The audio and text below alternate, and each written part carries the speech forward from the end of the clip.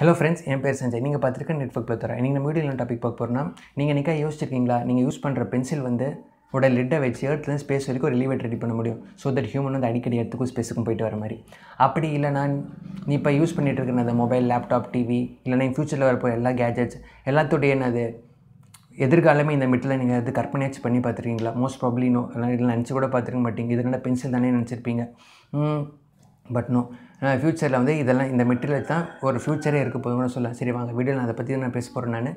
Video ஸ்டார்டிங்லேருந்து கடைசி வரைக்கும் பாருங்கள் இந்த சேனல் சப்ஸ்கிரைப் பண்ணால் மறக்காம சப்ஸ்கிரைப் பண்ணிவிடுங்க வீடியோட என்ன ஒரு சின்னதாக ஒரு போனஸ் ஃபேக்ட் இருக்குது சரி வாங்க வீடியோக்குள்ளே போகலாம் two thousand four two thousand ஃபோரில் யூனிவர்சிட்டி ஆஃப் மேன்செஸ்டரில் என்னது ப்ரொஃபஸர் என்ட்ரி கேவும் டாக்டர் என்னது கோன்ஸ்டான்டின் நொசால் இவர் பேரே கொஞ்சம் இதாக தான் இருக்குது நான் அது அவங்க ரெண்டு பேரும் என்ன பண்ணிட்டு இருந்தாங்கன்னா இந்த பென்சிலோட ஊக்குன்னு சொன்னேன் பார்த்தீங்களா அதில் வந்து ரிசர்ச் பண்ணிகிட்டு இருந்தாங்க. திடீர்னு என்ன ஆயிடுச்சுன்னா அது எதுக்கு ரிசர்ச் பண்ணிகிட்டு இருந்தாங்கன்னா இந்த மெட்டீரியல் வந்து கரண்ட்டு வந்து கண்டக்ட் ஆகுமா ஆகாது அந்த பென்சிலோட ஊக்கில் வந்து கரண்ட்டு வந்து போகுமா போவாதா?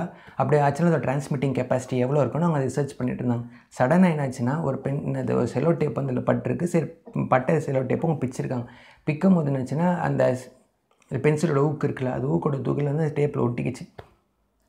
சரி அவங்க அதை எடுத்து எக்ஸாமின் பண்ணும்போது பார்க்க கொஞ்சம் பெக்குலரியாக இருந்து ஸோ அதை வச்சு எக்ஸாமின் பண்ணும்போது அவங்களுக்கு கொஞ்சம் வித் அந்த இதுவும் ரொம்ப பிடிச்சிருந்து ஸோ அதை பற்றி நான் அவங்க ரீசெண்டாக நிறைய அனலைஸ் பண்ணலான்ட்டு இருந்தாங்க அது எப்படி இருந்ததுன்னா இப்போ நீங்கள் ஒரு செலோ டேப் எடுத்துகிட்டு பேப்பரில் ஒட்டிட்டு பிச்சிங்கன்னு வச்சுக்கோங்களேன் அந்த பேப்பரோட துகள்லாம் வெள்ளை வெளியே அந்த டேப் ஒட்டியிருக்கோம் பார்த்துருங்க அதே மாதிரி தாங்க இருந்தது. பட் அவங்க மண்டையில் ஏதோ பல்ப் ஏதோ எரிஞ்சிருக்கு. ஸோ அவங்க இதை பற்றி ஏதோ ரிசர்ச் பண்ணலான்னு இது பண்ணியிருக்காங்க. அவங்க ரிசர்ச் பண்ணதோடைய இது விளைவோ என்ன தெரியல. டூ தௌசண்ட் டெனில் அவங்களுக்கு நோபல் ப்ரைஸே கிடச்சிச்சின்னு கூட சொல்லலாம். அப்படி அவங்க என்ன ரிசர்ச் என்ன கண்டுபிடிச்சாங்க அதை நான் ஃபர்தராக நான் சொல்கிறேன் நான். அப்படின்னு அவங்க ஆ சொல்ல வந்துட்டேன் அவங்க இந்த மெட்டீரியல் வந்து கிராஃபின்னு அவங்க பேர் வச்சுருக்காங்க. அதுக்கப்புறம் பார்த்தீங்கன்னா அவங்க என்ன கண்டுபிடிச்சிருக்காங்கன்னு பார்த்தீங்கன்னா மெட்டீரியல் வந்து ரொம்பவே தின்னான மெட்டீரியல்ன்ட்டு அவங்க அதாவது இப்போ ஒரு ஒரு பொருள் வச்சு இந்த பொருள் உலகத்தில் இருக்க எல்லா மெட்டீரியலும் பார்த்தீங்கன்னா ஒரு ஆட்டமானது ஒரு அணுவாலானது தான் எல்லா பொருளுமே பார்த்தீங்கன்னா பட் இந்த மெட்டீரியல் பார்த்தீங்கன்னா சைஸே பார்த்தா ஒரு அணுவோட அளவு தான் பல ஆட்டம்ஸ் இருந்தால் தான் ஒரு பொருளே உருவாகும். பட் இந்த மெட்டீரியலுடைய இதுவே பார்த்தா ஒரு அணு தான் அப்போ நான் பாருங்கள் அது எவ்வளோக்கு எவ்வளோ சின்னதாக இருக்கும்ன்ட்டு கூட நீங்கள் எக்ஸாமின் பண்ணிக்கலாம். அதுக்கப்புறம் பார்த்தீங்கன்னு வச்சுக்கோங்களேன் இப்போ எல்லா பொருளுமே ஹீட் பண்ணணும்னு வச்சுக்கோங்களேன் என்ன ஆகும் எக்ஸ்பேண்ட் ஆகும்.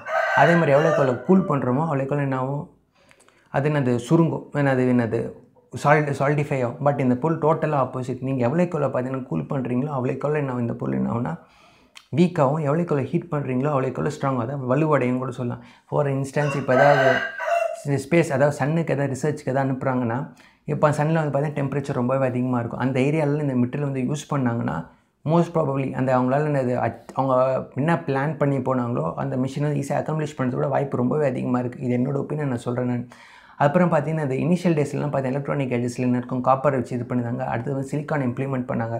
மோஸ்ட் ப்ராப்ளி கிராஃபின் அது ஃப்யூச்சரில் இந்த கிராஃபின் தான் இம்ப்ளிமெண்ட் பண்ணுன்னு சொல்லிட்டு இருக்கிறாங்க. அப்புறம் பார்த்தீங்கன்னா உங்களுக்கு இன்னும் கிளியராக சொல்லணும்னு வச்சுக்கோங்களேன்.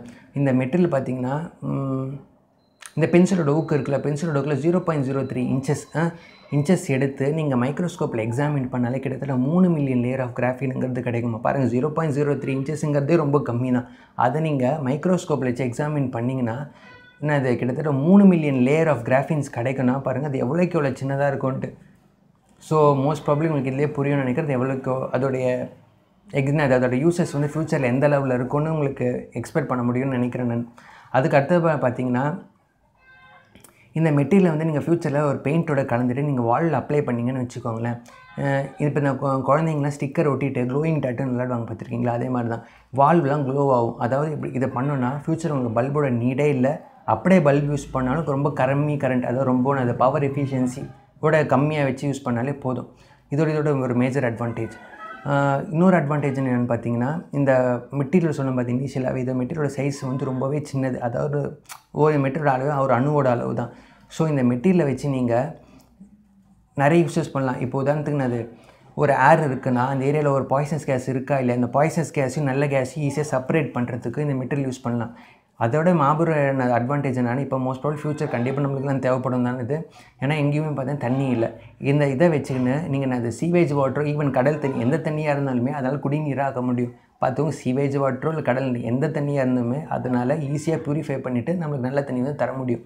கூட சொல்லலாம். இந்த மெட்டீரியல் அதுக்கு அடுத்து பார்த்தீங்கன்னா ரொம்பவே சின்னது. அதாவது ரொம்ப அது பார்த்தீங்கன்னா ரொம்ப மெலிசாகவும் இருக்கும். ஸோ இந்த மெட்டீரியல் ரொம்பவே ஃப்ளெக்சிபிள் ஸோ இது வந்து பார்த்திங்கன்னா மோஸ்ட் ப்ராப்ளி எல்லாருக்கும் பிடிக்கிற ரீசன் மேஜர் ரீசன் வரும் இப்போ ரீசெண்டாக இதாச்சு பார்த்தீங்களா இப்போ சாம்சங்கோட ஃபோல்டபுள் ஸ்மார்ட் ஃபோன் அதுக்கப்புறம் எல்ஜியோட ஃபோல்டபுள் டிவி எல்லா எல்லா மெட்டீரியல் இது இந்த ப்ராடக்ட்டோட கான்செப்ட் இது தான் ஃப்யூச்சரில் இந்த மாதிரி நிறைய ப்ராடக்ட் வந்து இந்த மெட்டீரியலை வச்சே உருவாகிறதுக்கு வாய்ப்பு ரொம்ப ரொம்பவே அதிகமாக இருக்குன்னு கூட நம்ம சொல்லலாம்.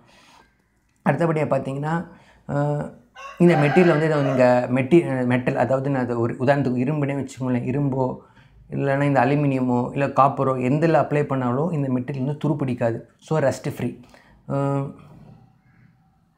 ஓகே எனக்கு தெரிஞ்சு என்ன நான் ஷேர் பண்ணிட்டேன் நான். ஓகே இந்த மெட்டீரியல் வந்து எப்படி சொல்ல? உங்களுக்கு இப்போ நீ இப்போ பார்க்கணுன்னா கூட இப்போ கூட பார்க்கலாம். எப்படின்னா உங்கள் நீங்கள் பென்ஸ் பார்க்கறது ஒரு மெத்தட் இருக்குன்னு நான் சொல்லிடுறேன் நான். இப்போ நீங்கள் பென்சில் எடுத்துகிட்டு உங்கள் வீட்டில் தரை தான் இருக்குன்னு வச்சுக்கோங்களேன் தரையில் நல்லா ஸ்க்ரிபிள் பண்ணிவிடுங்க ஸ்க்ரிபிள் பண்ணிட்டு செலோ டேப்பை ஒரு மூணு நாள் வாட்டி என்னது வச்ச இடத்துலேருந்தே எடுங்க ஸோ லெவல் வரைக்கும் பார்த்தீங்கன்னா அந்த அந்த நீங்கள் ஒவ்வொரு வாட்டிட்டு பிச்சு பிச்சு எடுக்கும் போது அந்த செலோ டேப்பில் மேக்ஸிமம் லேயர் ஆஃப் அந்த கரி இருக்க லேயர் இருக்குது பார்த்தீங்கன்னா பென்சிலோட இது கருப்பு இது போய்க்கினே இருக்கும். கிட்டத்தட்ட நாலஞ்சு வாட்டி பண்ணதுக்கப்புறமா ரொம்ப மைல்டாக ஒரு பிளாக் கலர் ஒரு லேஸ் இருக்கும் ஓகேவா அதுதான் கிராஃபின் எனக்கு எப்படி எக்ஸ்பிளைன் பண்ணுறேன்னு தெரில நான் எனக்கு என்னால் முடிஞ்சளவு அதை சிம்பிளாக சொன்னோன்னு ட்ரை பண்ணேன் நான். சரி சரி நான் போனஸ் ஃபேக்ட்னு சொன்னேன் பார்த்தீங்களா அதான். இப்போ மோஸ்ட் ப்ராப்ளம் எல்லோரும் நினச்சிருப்பாங்க இது பென்சில் தானேன்ட்டு ஓகேங்களா இந்த பென்சிலில் இருக்கிற ஹெட்டில் தான் இந்த இவ்வளோ எப்படி சொல்ல ஃப்யூச்சரே சேஞ்ச் பண்ணோட மெட்டீரியல் கிராஃபினும் இருக்குது இந்த பென்சிலோட லிட்டை லிட்டை தான் கிட்டத்தட்ட பல்லாயிரம் வருஷம் இதானா? இந்த லிட்டு தான் நம்மளுக்கு டைமண்டாகவும் மாறும். உங்களுக்கு தெரிஞ்சு ஓகே அவ்வளோதாங்க இந்த வீடியோ இந்த வீடியோ உங்களுக்கு பிடிச்சிருந்ததுன்னா மறக்காமல் அது சப்ஸ்கிரைப் லைக் கமெண்ட் எல்லாமே பண்ணுங்கள் பிடிக்கலன்னு டிஸ்லைக் பண்ணுங்கள் அவ்வளோதாங்க hope you might like this video thank you